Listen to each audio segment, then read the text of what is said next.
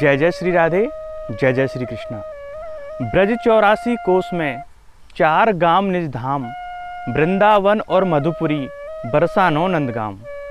वैसे तो भैया हमारो ब्रज मंडल चौरासी कोस में फैलो हुए। है पर ब्रज के जो चार स्तंभ हैं जिनमें बरसानो नंदगाम, वृंदावन और मथुरा हैं। भगवान कृष्ण ने मथुरा में जन्म लिया और नंदगाम में अपनी क्रीड़ा करी। और बरसाने और वृंदावन में बिन्ने रास रचायो। और जब हम ब्रज के नाम सुने तो हमारे मन में यमुना के तीर, मोरन की कलरव ध्वनि, और बाकी संगई भगवान कृष्ण की लीलान को स्मरण हो गए है।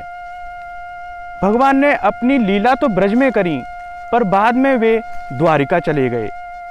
बेशक वे द्वारिका चले गए, पर बिनकू हमेशा ब्रज की याद आती रहती।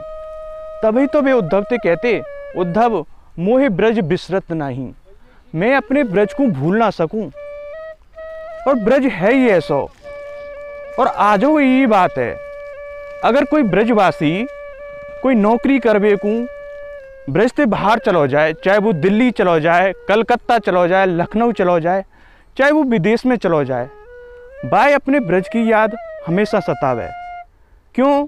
क्योंकि हमारी जो ब्रज की जो माटी है ना या की सुगंध ही ऐसी है। जी, बात तो परम सत्य है भैया, कि ब्रज की सुगंधी तो है ही है। बाकी ब्रज की माटी को भी अलग महत्व है। क्योंकि जब ही तो हमारे सभी ब्रजवासी यह बातें माने कि मुक्ति कहें गोपाल सो। ये मुक्ति क्या है भैया? मुक्ति वो जिसकी चाह तो पूरी दुनिया रखे। है मुक्ति वो कि जाकी चाहे तो पूरी दुनिया रखे। लेकिन आज वो मुक्ति भी ठाकुर जी तो ये कह रही है कि ठाकुर जी मेरी मुक्ति कहाँ है? तो ठाकुर जी कह रहे हैं कि मुक्ति कहे गोपाल सो, मेरी मुक्ति बताए। ब्रज रज ब्रज रज उड़ मस्तक लगे। मुक्ति मुक्त है जाए। तो भगवान कृष्ण ने मुक्ति से कहा है कि तू मेरी या रज अपने माथे पे लगा, तेरो भी उद्धार है जाएगा तो हम या ब्रज की माटी को बहुत महत्व मानते हैं हम सभी ब्रजवासी लोग। तो यहाँ के जो ब्रजवासी हैं, संत लोग हैं, वो अपनी एक बात भी ये माने हैं कि कुछ संत लोगों का भाव है कि को कभी वर्णन कर सके या ब्रज माटी को मूल? को कभी वर्णन कर सके या ब्रज माटी को मूल? जाके कड़ कड़ में नित है श्री युगल चरण की धूल। यानी कि हमारे राधा माधव के चरणों की धूल, जिसे हम अपनी कृपा मानते हैं, वो इस ब्रजरज में ही निहित है। और हम बड़े सौभाग्यशाली हैं। हम सब ब्रजवासी या चीज़ को एक बात को बहुत अच्छे गुमान माने हैं और बड़े अड़के बोले हैं कि भैया हम ब्रजवासी हैं। तो या गुमान को अर्थ यही है ना कि हम ब्रजवासी हैं, ब्रज की रज में हमारा जन्म है। तो इसे हम अपना बड़ा सौभाग्य समझते हैं और कहते हैं कि श्री राधे मेरी स्वामिनी, मैं राधे तेरो दास, जन्म जन्म मोह दीजियो, निज चरणन में बास निज चरण यानी ये रज। और भैया, जैसे हमारी ब्रज की माटी को महत्व है, वही प्रकार से हमारे ब्रज के पर्वतन को बड़ा ही महत्व है। और आपको याद होगा, जब इंद्र ने अपनो प्रकोप ब्रजवासीन के ऊपर करो वह समय पे।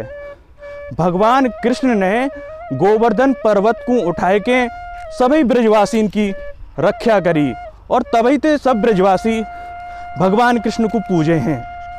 और यह ब्रज में जन्म लेवे की काजे तो देवता हु तरसे हैं।